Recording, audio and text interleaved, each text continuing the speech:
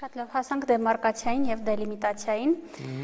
Հանրային հերոստանգերությունից Անուշ Մուրադյանը Կառավարության վերջին նիստին դուք հայտարարեցիք, որ Ռուսաստանի պաշտպանության նախարարությունը դեմարկացիայի եւ դելիմիտացիայի նախապատրաստական փուլի վերաբերյալ հանդես է եկել առաջարկություններով եւ այդ առաջարկություններն ընդունելի են Հայաստանի համար։ Սա Ռուսաստանի արդեն 4-րդ նման նախաձեռնությունն է։ Արդյոք դրա բովանդակությունը տարբերվում է 2021-ի մայիսի 12-ից հետո արված 3 նման առաջարկից եւ ինչ փուլում է այժմ այդ գործընթացը։ Գիտեք, ընդհանուր առմամբ էլի մենք ինչ ինչ ենք շեշտում, որ առաջարկը ընդունելի է Հայաստանի համար, երբ որ մենք ասում ենք Հայաստան առաջարկը ընդունելի է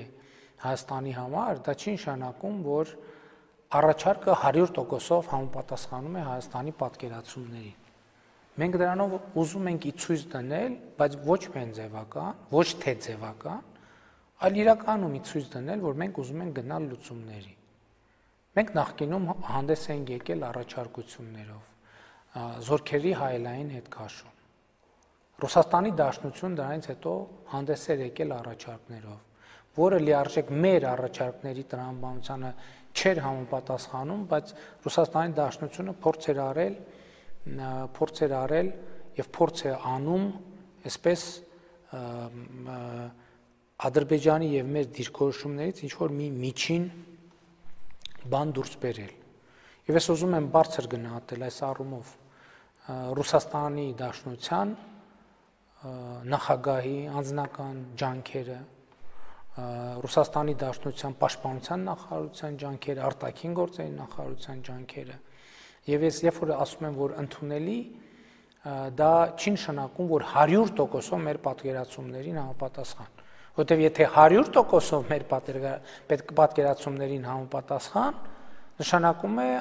Ադրբեջանը դրա հետ չի համաձայնվելու։ Մենք պետքա գանք ինչ որ մի միջին տարբերակի, որ կներեք puzzle-ի սկզբունքով պատկերացումներից ձևավորվի։ Եվ գիտեք, ես պատրաստ եմ ըստ էության այստեղ ոչ ոչ ոչ մի գաղտնիք չկա, բայց մյուս կողմից դինամիկ process է գնում։ Որովհետև եթե ես հիմա ինչ որ մի բան հայտարարեմ, որ այ էս առաջարկել Ռուսաստանի Դաշնությունը, եւ մենք համաձայն ենք այս տրամաբանության հետ, այդ տրամաբանության մեջ ինչ որ նախ հրաապարակման պահից այդ տրամաբանությունը այլևս գոյություն չի ունենա։ Քանի դեռ Ադրբեջանը ինքն էլ չի հայտարարել, որ ինքը ընդունում է։ Ես նկատի ունեմ դիվանագիտական աշխատանք կա, որը հրաապարակային դարձնելով այդ աշխատանքը արդեն դադարում է գոյություն ունենալից եւ պետքա ամեն ինչ սկսել զրոյից։ Բայց նախորդ 3-ի բովանդակությունը այս 4-ից շատ էր տարբերվում, ինչ որ Գիտեք, ոչ, շատ չի տարբերվում։ Շատ չի տարբերվում այդտեղ, բայց այստեղ խնդիրը ոչ միայն բովանդակությունն է, օրինակ զորքերի հետ քաշման գաղափար կա ընդհանուր առմամբ գոյություն ունի։ Մենք ենք առաջ քաշել գաղափարը։ Բայց հաջորդ պահին հարց է ցակում Իսկ ինչ սկզբունքով եւ որ տարածքներում հետ քաշել հայլային եղանակով զորքերը իսկ ինչ կետի նկատմամբ հայլային եղանակով հետ քաշել զորքերը իսկ ինչպես ապահովել երաշխիքը որ այդ հայլային հետ քաշված զորքերը մեկ էլ մթության քողի տակ չեն սկսելու տեղաշարժվել իրենց հին տեղերը կամ նոր դիրքեր զբաղեցնելու այս ամեն ինչը հարցեր են Ի վերջո, երբ որ ասում ենք հայելային հետ քաշում, նաև ինչ նկատի ունենք։ Նկատի ունենք, որ դեմարկացիա եւ դելիմիտացիա process-ի ընթացքում, ի վերջո մենք ո՞նց ենք պատկերացնում, պետք է շահանակեն հրադադարի ռեժիմի խախտումներ եւ բախումներ լինեն։ Այդ ամբողջ process-ը ի սկզբանե ձախողված է, եթե այդպիսի բան տեղի ունենա։ Հիմա հնարավոր է Ռուսաստանը մի գաղափար առաջ քաշի, որը մեր առաջադրած խնդիրը, որ դեմարկացիա, դելիմիտացիայի process-ի ընթացքում պետք է բացառել ռազմական սադրանքները, ասենք երբ որ մենք ասում ենք զորքերի հայելային հետ քաշում, նաև սա նկատի ունենք։ Շատ հնարավոր է իրենք առաջարկեն մի մեթոդ, որը հենց ձևի առումով այն չի, ինչ որ մենք առաջարկում ենք, բայց բովանդակության առումով ստեղծում է երաշխիք, որ ռազմական բախումներ տեղի չեն ունենա։ Եվ մենք այս ամենի շուրջ աշխատում ենք ամենօրյա գործնականում ռեժիմով, ամենօրյա ռեժիմով։ Եվ այն ինչ որ ես հիմա ասեմ, երկու ժամ հետո կարող է ինքը արդեն ձևափոխված լինի։ Հիմա ես կամ պետքա վերադառնամ էլի եթերում ասեմ, գիտեք, ինչ կա, այս այս նրբությունը փոխվել է կամ պիտի ստացի, որ ես խափեցի հանրությանը։ Սա ամբողջ խնդիրը։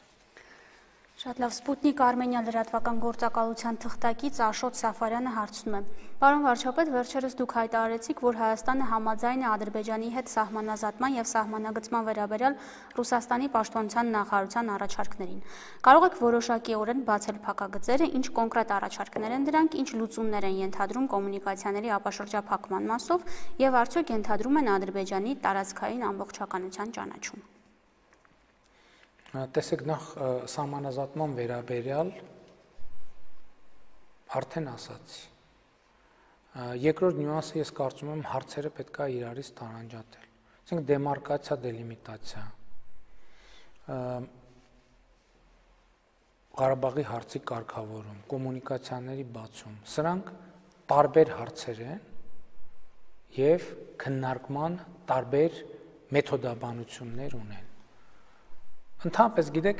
այդ թեման երևի շատ մեծ նրբություն ունի, ես անդադ խուսափել եմ այդ մասին խոսել, բայց տեսեք նույն տարածքային ամբողջականության հետ կապված թեման։ Օրինակ 1991 թվականին, երբ որ Հայաստանը եւ Ադրբեջանը ընդունվել են անկախ պետությունների համագործակցություն, համագործակցությունն են ստեղծել հրճակագիր են ստորագրել եւ միջպետական պայմանագիր ԱՊՀ-ն ձևավորելու մասին, այնտեղ փոխադարձաբար միմյանց տարածքային ամբողջականությունը ճանաչել են։ Եվ եւ դա ինչ այդ հարցը ինչով է, գիտեք, տերմինների տակ պետք է հասկանալ ինչ նկատի ունենք։ Ինչ նկատի ունենք։ Դե հարցը բարձ է Արցախին է վերաբերում։ Դե այդ ժամանակ Արցախի խնդիրը եղել է, չէ՞։ Իսկ Հայաստանը ճանաչել է։ Բայց հիմա խնդիրն է դա Արցախի հարցը տարածքի հարց է։ Մեր ընկալմամբ Արցախի հարցը տարածքի հարց չի։ Արցախի հարցը իրավունքի հարց է։ Եվ տարածքի հետ կապ չունի։ Հենց այդ է որ Երբ որ մենք ասում ենք, որ Արցախի հարցը նենգափոխվել է, այդ թվում Ղարաբաղին բանակցային սեղանից դուրս թողնելով նաև դա նկատի ունենք։ Որտեւ 91 թվին ապա փաստաթղթերով Հայաստանն ու Ադրբեջանը իրենց փոխադարձ փոխադարձաբար տարածքային ամբողջականությունը ճանաչել են։ Դա ի՞նչ է նշանակել։ Նշանակել է, որ Ղարաբաղի հարցը չկա, գոյություն չունի,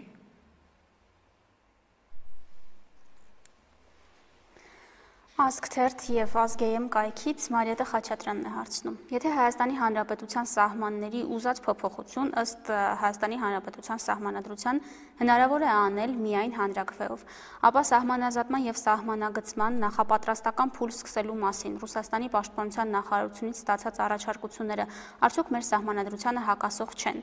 եւ անսալու է արդյոք տարբեր հանրային շրջանակներից հնչող պահանջին բացահայտելու սահմանազատման եւ սահմանագծման վերաբերյալ բանակ բանակցությունների բովանդակությունը։ Գիտեք, ինձ ինձ թյուրին բռնում եւ թյուրիմացություն կա։ Սահմանազատման եւ սահմանագծման բանակցությունների վերաբերյալ։ Ես ինչքան հասկանում եմ հարցերից եւ հարցադրումներից, տպավորություն կա, որ թուղթ է ստորագրվելու սահմանազատման եւ սահմանագծման արդյունքների մասին։ Այդպիսի բան հնարավոր չի ուղակի ստորագրվելիք պոտենցիալ փաստաթուղթը լինելու է հետևյալի մասին, որ Հայաստանը եւ Ադրբեջանը ձևավորում են հանձնաժողով, որը սկսում է զբաղվել սահմանազատման եւ սահմանագծման աշխատանքներով։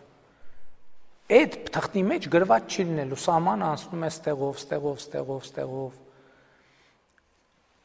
Այդ աշխատանքը կամ այս վերջին ձևակերպումը տեղի ունենալու այդ հանձնաժողովի աշխատանքի հիման վրա։ Գիտեք, այս վերջերս ես ինքս մեր կառավարության համապատասխան ստորաբաժանումների ինձ ինձ ուղարկել էին ԵԱՀԿ ԵԱՀԿ խորհրդատվական փաստաթուղթը սահմանագծման եւ սահմանազատման աշխատանքների վերաբերյալ, որը հետաքրքիր հետաքրքիր է ստեղծել են Բելարուսի եւ Լիտվայի փորձագետները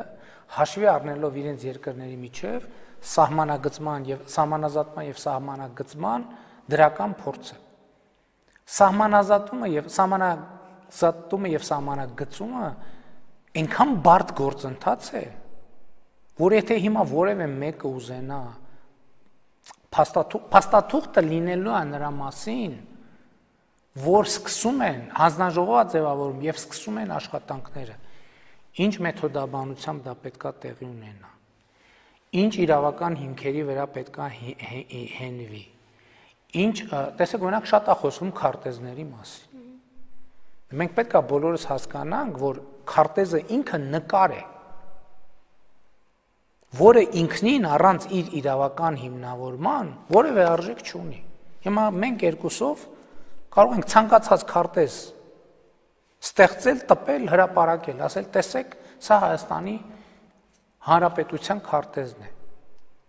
Հիմա այս ընթացքում մենք ինչ աշխատանք ենք կատարել։